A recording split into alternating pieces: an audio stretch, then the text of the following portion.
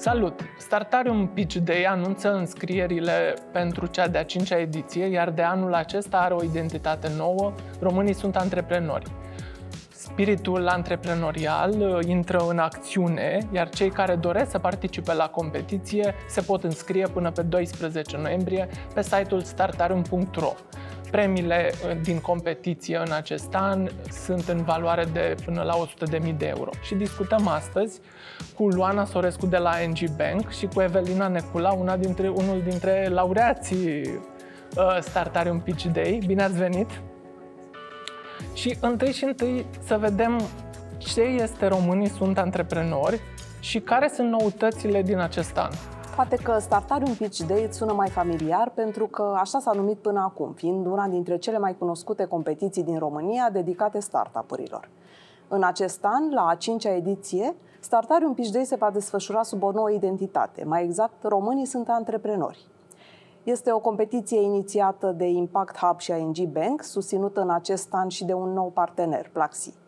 Antreprenorii, dar și viitorii antreprenori, se pot înscrie pentru șansa de a câștiga premii cumulate în valoare de 100.000 de euro.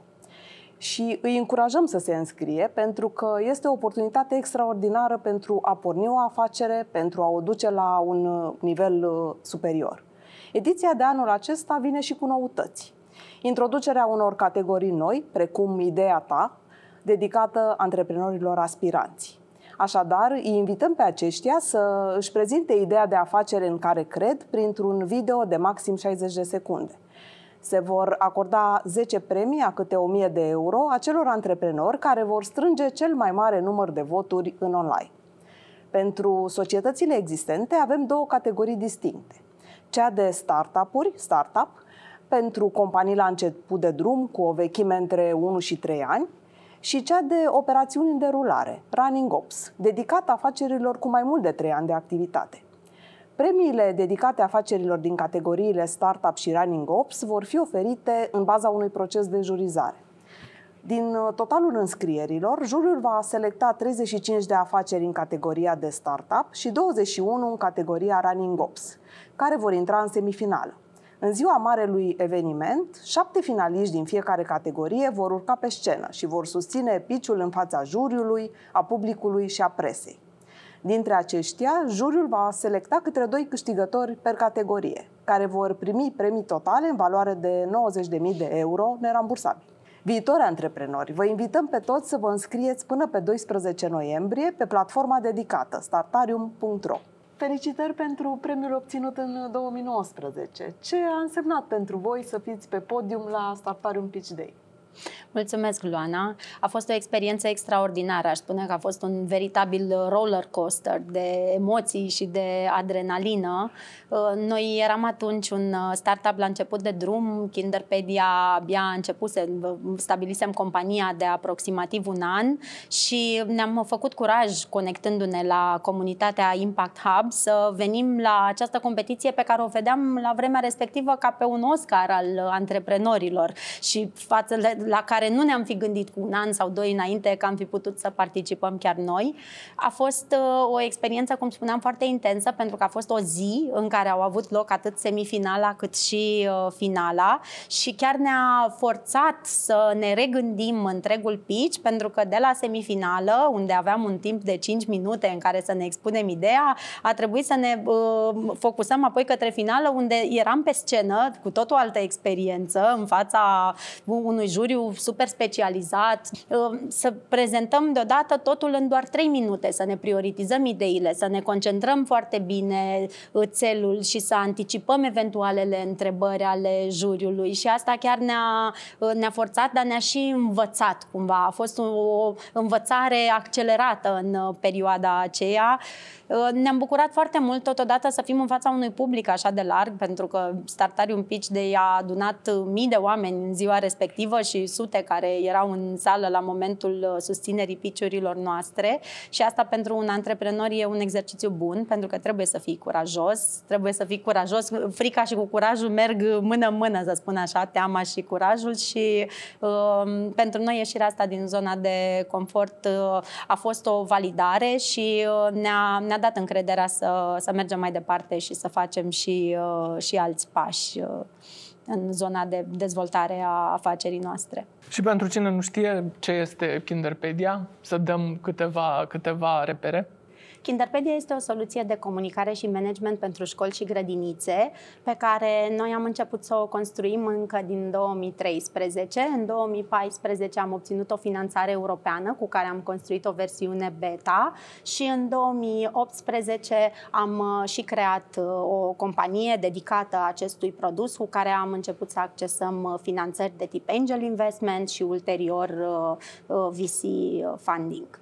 Este o soluție care acoperă cinci categorii mari de nevoi ale școlilor și grădinițelor. Pe de o parte, organizarea infrastructura lor digitală, organizarea uh, managementului instituției. Pe de alta, întreaga activitate de la clasă, tot ce face profesorul sau educatorul de la a pune prezențe, a da note, teme, până la uh, organizarea de librării educaționale.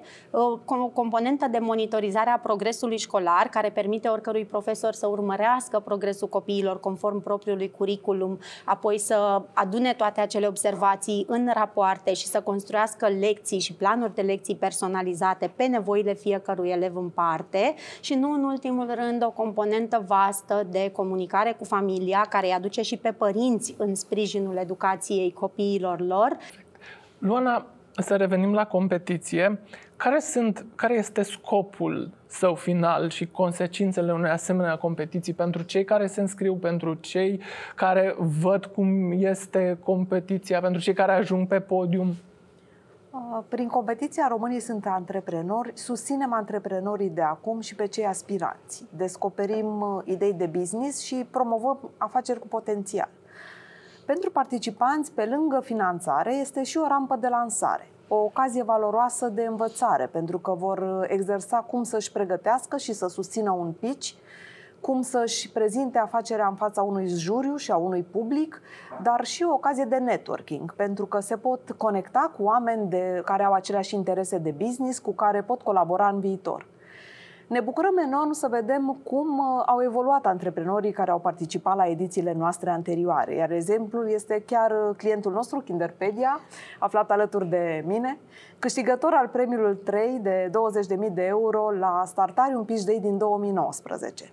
Kinderpedia s-a extins deja pe piața din Statele Unite, vizează în prezent uh, și Europa și Orientul Mijlociu, așa că nu putem decât să îi felicităm pentru curaj, determinare și viziune pentru că Luana deja ne-a, ne-a introdus un pic în, în ce s-a întâmplat post, uh, post-participare. Ce s-a întâmplat după și care a fost parcursul vostru? Care au fost consecințele voastre de a participa la această competiție importantă, iată? Evident, a fost uh, foarte valoroasă finanțarea pe care am primit-o la momentul uh, respectiv, uh, poate chiar mai valoroasă decât ne așteptam în contextul în care la doar patru luni de la momentul când noi am câștigat acest premiu la Startarium a venit pandemia și asta a însemnat pentru noi ca soluție care oferea suport activității școlilor, activității de la clasă, să reinventăm modul de lucru și să îi ajutăm pe profesori, respectiv pe copii și familii să se conecteze de, acasă. Și la, în perioada respectivă a fost evident o presiune foarte mare pe, toți, uh, pe toate companiile, nu doar în zona educației, dar cu atât mai mult în zona educației, astfel că chiar și acele venituri pe care noi le aveam la vremea respectivă, aproximativ 8.000-8.700 uh, de euro, spusesem eu atunci în, uh, în pitch, venituri lunare recurente, au, au fost diminuate de faptul că școlile nu mai încasau taxe de la părinți și multe dintre ele se vedeau nevoite să-și redirecționeze resursele în alte părți, asta fără să aibă mai puțină nevoie de ceea ce le ofeream noi. Și în contextul acesta, finanțarea pe care am obținut-o la Startarium, finanțarea pe care am obținut-o anterior la Innovators for Children, un alt uh, program al uh, Impact Hub, le-am dedicat susținerii școlilor și grădinițelor și conectării între profesori și copii, respectiv familii, în perioada în care ei aveau cea mai mare nevoie. A fost un impact social pe care n-am fi avut cum cum să-l anticipăm la momentul acela, dar unde această finanțare și tot sprijinul rețelei pe care noi am consolidat-o prin participarea la acest eveniment au devenit extrem de utile și aș zice fără de care poate că ne-ar fi fost greu să mergem mai departe. Pentru că următorul, următorul milestone pentru Kinderpedia a fost chiar în vara anului 2020, când am reușit să strângem uh, o rundă de pre-seed de aproximativ jumătate de milion de euro. De ce se implică ING în această competiție? Hub și ING Bank au pus bazele Startarium încă din 2016, din uh, dorința de a sprijini antreprenorii la început de drum, inovatorii curajoși și determinați să creeze un impact în societate și să creeze de asemenea produse și servicii din ce în ce mai bune pentru clienții lor. Startarium uh, oferă acces gratuit online la toate resursele necesare pentru a lansa, a crește și a susține o afacere de succes. Conținut educațional, mentorat de business, proiecte de incubare și accelerare, instrumente moderne de finanțare și competiții de pitching. Pe scurt, Startarium este locul în care găsești tot ce ai nevoie pentru a lansa și a crește un business. Mai mult, sănătatea financiară a clienților este unul dintre pilonii noștri principali. De aceea ne implicăm atât de mult în astfel de proiecte care sprijină creșterea sănătoasă a afacerilor. După trei ani de pauză, suntem entuziasmați să reluăm competiția și să descoperim noi afaceri interesante cu potențial foarte mare de dezvoltare. Care sunt provocările observate de ING în mediul antreprenorial din România? Potrivit unui studiu pe care l-am lansat în acest an alături de Impact Hub și Brava Angels, profil de antreprenor, 93% dintre antreprenorii români își folosesc fondurile proprii atunci când pornesc o afacere, în timp ce doar 7% vin în completarea bugetelor cu granturi, premii, sponsorizări. Aproape 60% dintre respondenți consideră că este dificil și foarte dificil să obții finanțare nerambursabilă. Cu toate acestea, când sunt întrebați care sunt prioritățile lor pentru următoarele 6-12 luni, au declarat că își propun să atragă investiții menite să contribuie la poziționarea și scalarea afacerilor. Prin urmare, competiția vine ca un răspuns la nevoile fondatorilor de afaceri, care își doresc acces rapid la resurse de finanțare, mai puțină birocrație și procese de selecție eficiente, dar mai ales ca o rampă de lansare pentru acele idei de afaceri care au potențial și sunt încă nedescoperite. Sigur, pe lângă finanțare, din conversațiile purtate cu antreprenori, am aflat că aceștia își doresc consultanță, programe de mentorat, resurse educaționale care să-i ajute să scaleze afacerea și, de asemenea, oportunități de networking, de a se conecta cu alți antreprenori care au experiență. Evelina, cum ajută un antreprenor participarea la acest eveniment? Pentru că vorbeam de provocări, mai ales că poate unii dintre ei au idei, dar nu au curajul de a veni și să se expună în fața juriului, în fața altor antreprenori. Astfel de competiții îți dau curaj.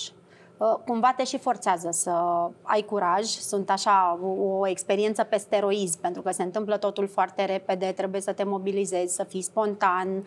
Uh, de cele mai multe ori te forțează să fii autentic, pentru că în genul acesta de circumstanțe nu prea ai șanse să fii sau să, să joci alt rol decât ceea ce ești. Ar fi și păcat să, să o faci.